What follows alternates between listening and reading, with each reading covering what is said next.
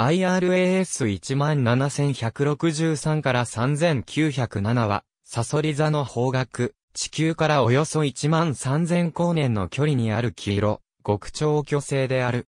この恒星は、放出されたガスやゴミからなる熱い殻の中に渦漏れており、その形状から、フライドエッグネビュラというニックネームを持つ。黄色極超巨星は、恒星の形成と進化の過程の中では、非常に活動的な段階である。ハインツェによって、南天での汽船星捜索の中で発見され、1976年に初めて報告された。最初に付けられた名は、ハインツェの第3次カタログで1379番目に収録された天体ということで、変3から1379であった。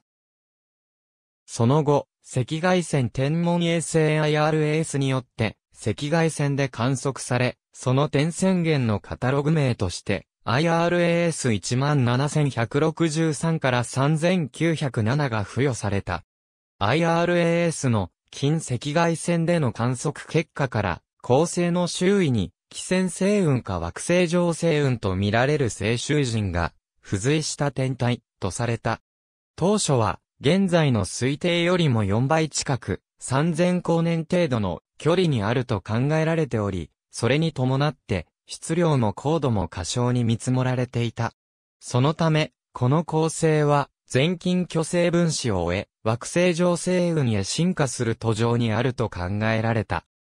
この構成は、赤外線では、非常に明るいにもかかわらず、その後詳細な観測はほとんど行われなかったが、2011年に、超大型望遠鏡 VLT による観測で、恒星に付随する星雲が直接検出され、距離も大幅に修正された結果、キロ極超巨星であると考えられるようになった。恒星の直径は太陽の370倍程度で、仮に太陽系の中心にこの恒星を置くと、火星の軌道程度にまで達する。直径およそ2万 AU の外角を持ち、外見が目玉焼きのように見えるため、フライドエッグネビュラの別名を持つ。フライドエッグネビュラという別名の由来となった画像は、チリ北部のアタカマ砂漠にある超大型望遠鏡、VLT と、その観測装置ビジャーによって、中間赤外線の3つの波長帯のフィルターを用いて、撮影された画像を、それぞれ赤、緑、青の各色に割り当てて合成し、作成された。この観測に用いられたフィルタは、12.81マイクロメートル、11.85マイクロメートル、8.59マイクロメートルの3種類の波長の赤外線を透過させるものであった。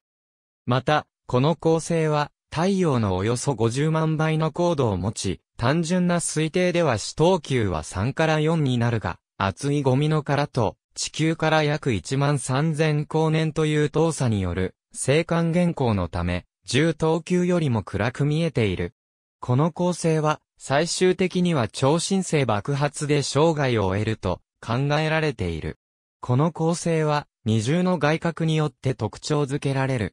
内側の殻は、直径およそ 4800au、外側の殻は、直径およそ 12000au と見積もられる。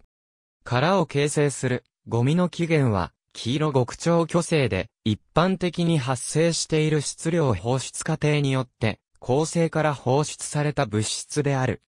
二つの殻の間には、殻を形成した物質の放出時期に、時間にして、およそ435年の開きがあり、全体では、ゴミの質量が、ガスの質量の1%程度だとすると、合わせて、太陽質量の4倍に相当する物質が、含まれていると推定される。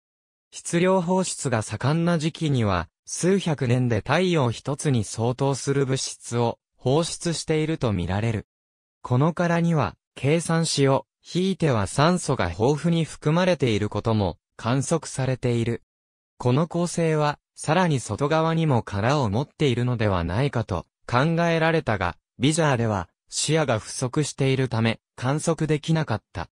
その後、ハーシェル宇宙望遠鏡による観測で、外側の殻も検出され、およそ1万6000年前の質量放出で、直径が 1pc 規模で、ゴミの質量が太陽の0.17倍、ガスの質量が太陽の7倍程度の殻が形成されたと見積もられた。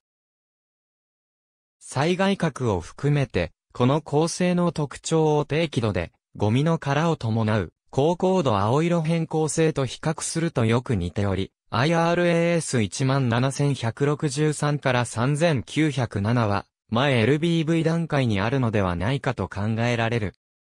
また、質量の大きい災害核は、赤色超巨星時代に放出されたものと予想される。ありがとうございます。